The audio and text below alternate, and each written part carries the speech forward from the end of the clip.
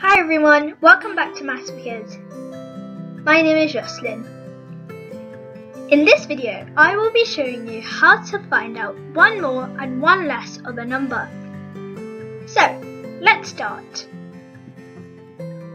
What is one more than? When we are finding one more, we are just adding one to the number. Let's do an example.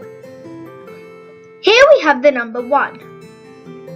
If we were to find out 1 more than 1, it will also be called 1 add 1, which gives us 2.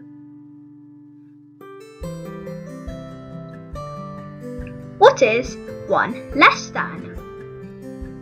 In the same way, if you want to find out 1 less than a number, we simply take away 1. Let's do an example.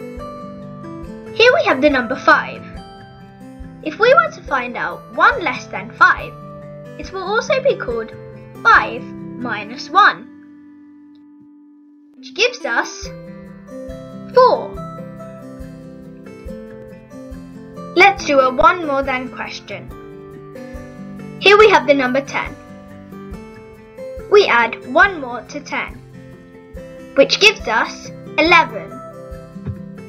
Let's do a 1 less than question.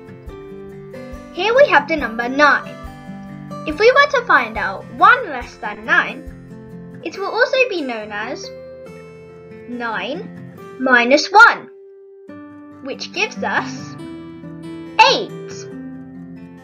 Let's do another 1 more than question.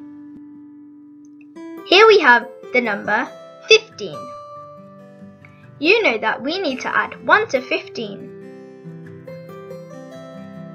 15 add 1 gives us 16. Let's do another 1 less than question.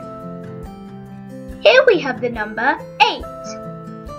If we were to have 1 less than 8, it will also be known as 8 minus 1, which gives us seven. Let's do a one more than question. Here we have the number 19. If we were to have one more than 19, it will also be the same as 19 add 1, which gives us 20. Let's do another one less than question. Here we have the number 3.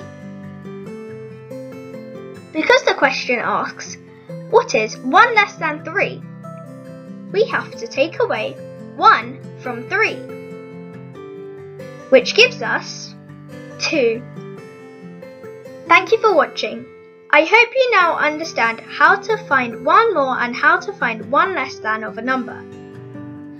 Please like and subscribe. Carry on practicing. See you soon for my next video. Bye!